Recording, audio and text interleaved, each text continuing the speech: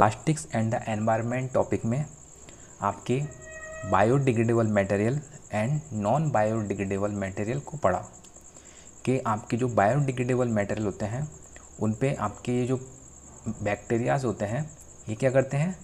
Action करते हैं, जिससे वो जो मेटल होते हैं, कौन से? बायोडिग्रेडेबल जो मेटल होते हैं इजीली क्या हो जाते हैं? डिकम्पोज हो जाते हैं। किन के कारण? उन बैक्टीरियाओं के एक्शन के कारण। पर जो आपके नॉन बायोडिग्रेडेबल जो मटेरियल होते हैं, उनको कई साल लग जाते हैं डिकम्पोज होने में, क्योंकि जो आपके बैक्टीरिया होते हैं उन पर एक्शन क्या है, वो कर नहीं पाते हैं। या करते भी हैं तो क्या है उन पर कोई असर नहीं होता है, और असर होता है तो क्या, काफ़ी टाइम लग जाता है ना? तो ये तो था आपका biodegradable and non biodegradable material जो हमने कल पढ़ा था। अब इसी क्रम में हम आगे चलते हैं और देखते हैं प्लास्टिक्स एंड द एनवायरनमेंट में आपके जो प्लास्टिक्स होते हैं एनवायरनमेंट को किस प्रकार से प्रभावित करते हैं, उसी क्रम में हम इसको आगे पढ़ते हैं। देखिए since plastics take several years to decompose तो जो प्लास्टिक्स होते हैं, उनको कई साल लग जाते हैं। किसमें कई साल लग जाते हैं? डिकम्पोज होने में। क्या होने में? डिकम्पोज होने में, अपघटित होने में कई साल लग जाते हैं। It is not environment friendly अब ये क्या होते हैं? एनवायरमेंट फ्रेंडली तो है ही नहीं, है ना? कैसे नहीं है ये? एनवायरमेंट फ्रेंडली नहीं है। पर्यावरण मित्र है ही नहीं।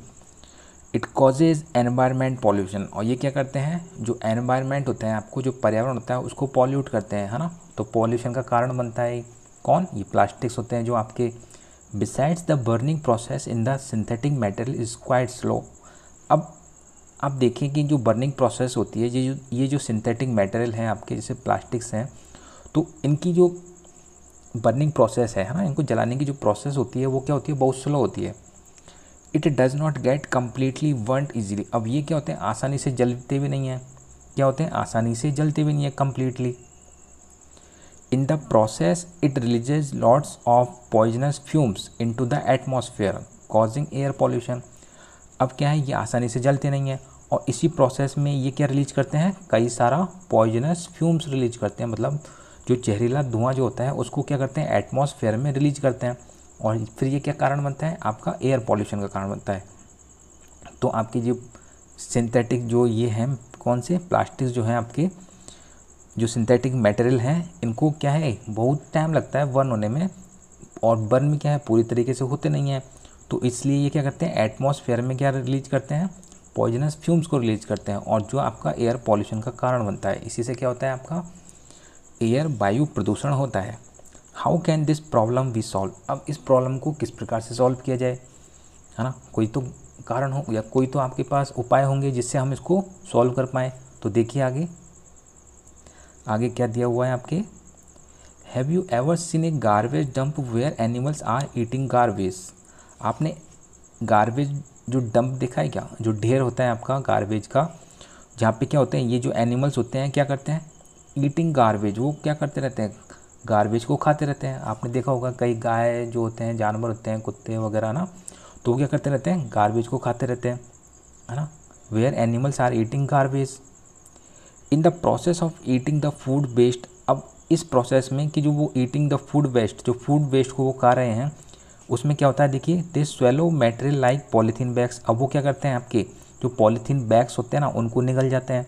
Swallow materials like polythene bags and wrappers of food और जो रैपर्स ऑफ़ फ़ूड होते हैं, जिनको आप फेंक देते हो ना इधर उधर जैसे चिप्स वगैरह के रैपर्स होते हैं, या कोई बिस्कुट्स वगैरह के रैपर्स होते हैं तो उनको आप फेंक देते हो। और जो फिर उनको कौन खा जाता है? जो एनिमल्स होते हैं, वो कहाँ पे खा जाते हैं? जो गार्बेज होते हैं, वहाँ से खा जाते हैं उनको, है ना? यहाँ आपने फेंका है तो उसको निकल जाते हैं। तो उससे क्या होता है? वो उनको निकल जाते हैं। Can you imagine the consequences तो क्या आप इमेजिन कर सकते हैं इसके परिणामों को?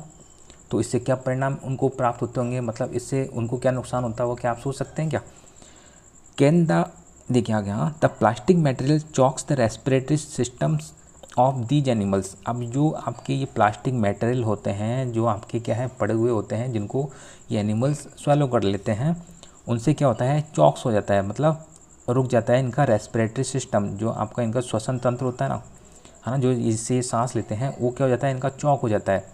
Of these animals in animals का इन जंतुओं का और forms a lining in their stomach और क्या करते हैं लेयर बना देते हैं एक लाइन या अस्तर बना देते हैं lining in the in their stomach उनके पेट में क्या बन जाता है एक अस्तर बन जाता है ना अब इकट्ठ हो जाता है मतलब वो चिपक जाता है उनके हाथों में and can be the cause of their death और कारण क्या बन जाता है उनकी डेथ का कारण बन जाता है उनके जो रेस्पिरेटरी सिस्टम को चौक कर देता है उससे क्या होता है वो सांस नहीं ले पाते हैं और उनकी डेथ का ये कारण बन जाता है। कौन? ये आपके प्लास्टिक मटेरियल। तो ये क्या है? परिणाम है ना इनके? कि इससे क्या परिणाम निकला? देखो ना? तो उनका जो रेस्पिरेटरी सिस्टम है, वो चौक हो गया। इससे उनकी डेथ हो जाती है।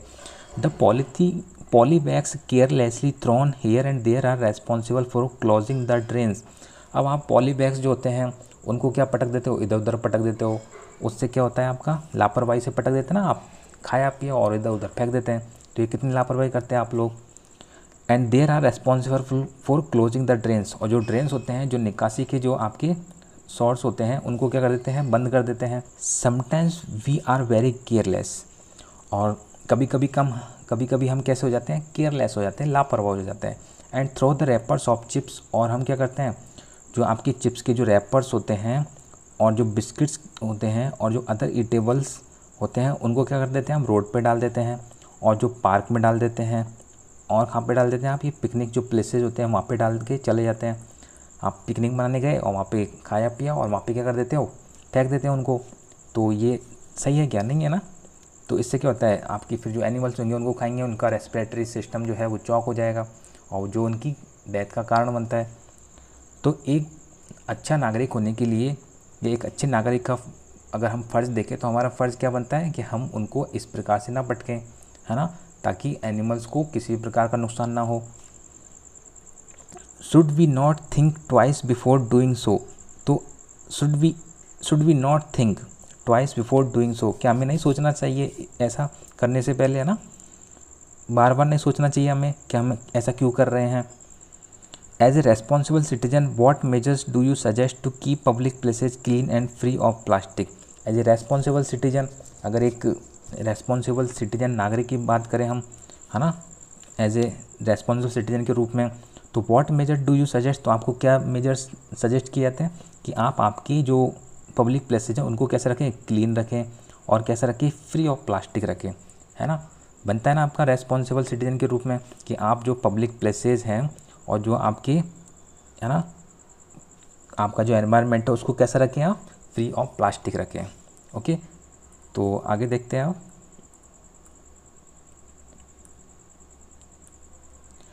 Avoid the use of plastics as far as possible अब जितना हो सके आपको क्या करना है? प्लास्टिक्स का क्या करना है? कम यूज़ करना है। Okay okay? उनको क्या करना है? अवॉइड ही करना है उनका use make use of bags made of cotton और जूट। आपको किसका यूज़ करना है? ऐसे बैग्स का यूज़ करना है जो आपकी कॉटन और जूट से बने हों मतलब आपके जो नेचुरल फाइबर से बने हुए हों।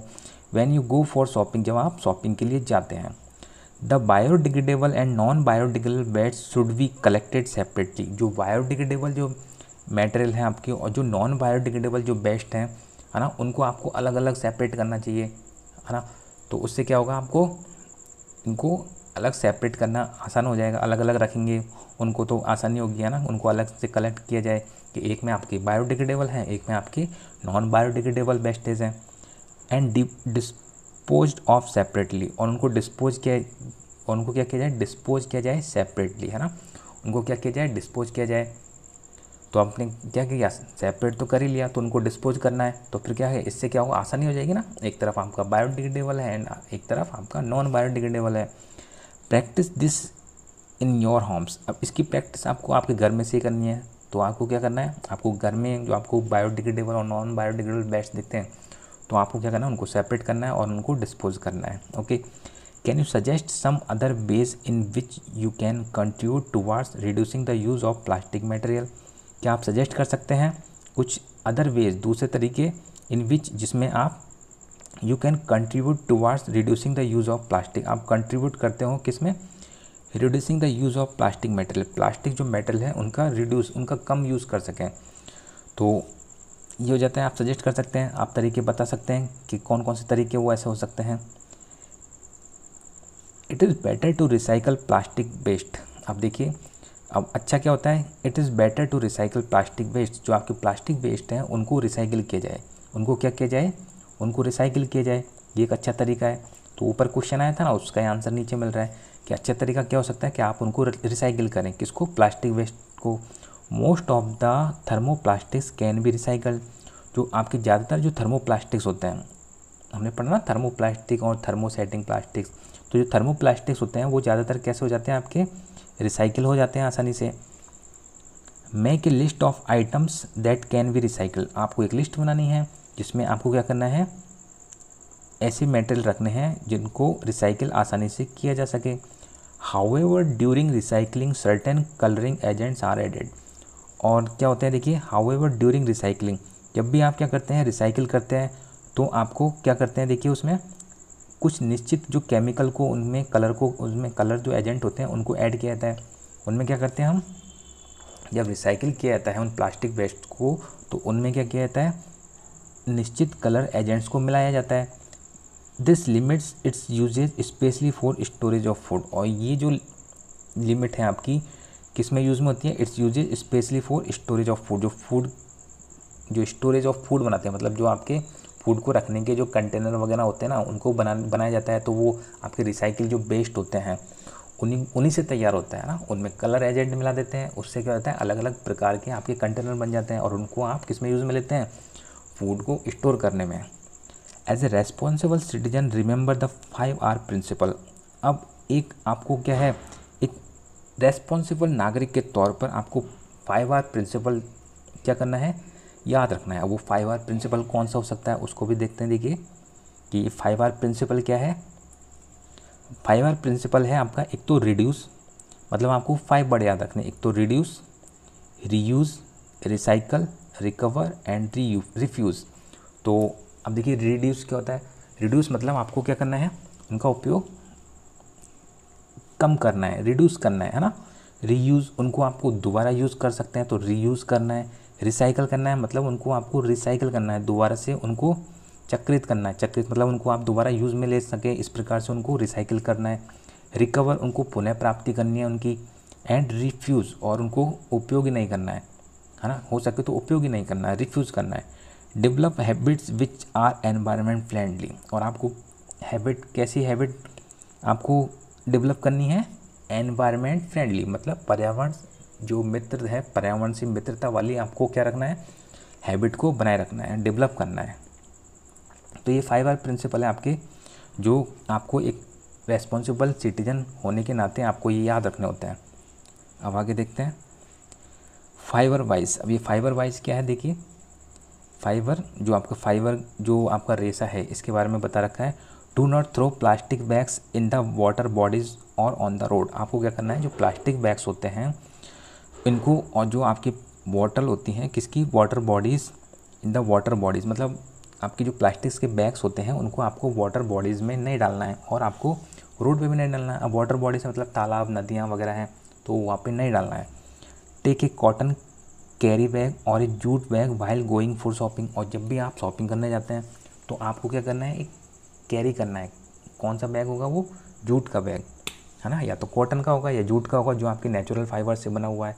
क्योंकि सिंथेटिक फाइबर से बनेगा तो फिर वही हो जाएगा आपका क्या? बहुत टाइम लगेगा उसको बेस्ट क्या होने में? डिकम्पोज होने में। फिर आपको, फिर वो एनवायरनमेंट को क्या करेगा?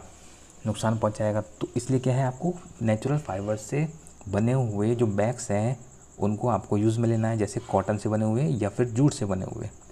Try to minimise the use of plastic materials आपको जितना हो सके प्लास्टिक्स का यूज़ कम से कम करना है।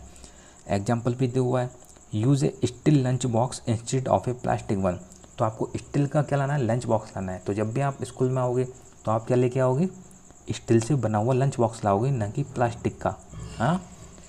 अब इस, क्यों, अब समझ में है ना क्यों लाना है? क्योंकि आपके जो प्लास्टिक्स होते हैं, आपको पता है किस प्रकार से, कैसे होते हैं? एनवायरमेंट फ्रेंडली तो वो होते ही नहीं है है ना? तो इसलिए आपको हो सके तो इनका यूज़ कम करना है, जितना हो सके कम यूज़ में करना है। हाँ कोई मजबूरी है तो वो अलग बात है। ओके तो आपको एक रेस्पॉन्सिबल सिटीजन होने के नाते आपके ये फाइव आर प्रिंसिपल आपको माइंड में रखने हैं और आपको एनवायरनमेंट को सेफ़ रखना है। जितना हो सके आपको प्लास्टिक्स को कम यूज़ में लेना है और आपका जो फाइव आर प्रिंसिपल है, जिसमें आपके reduce reuse recycle recover and refuse इस फाइव आर प्रिंसिपल को आपको माइंड में रखते हुए आपको, आपका जो एनवायरनमेंट है, उसको क्या करना है? अच्छा रखना है सेफ़ रखना है ओके तो ये आपका चैप्टर फिनिश होता है। अब इसकी क्वेश्चन आंसर जो है, हम नेक्स्ट वीडियो में देखेंगे।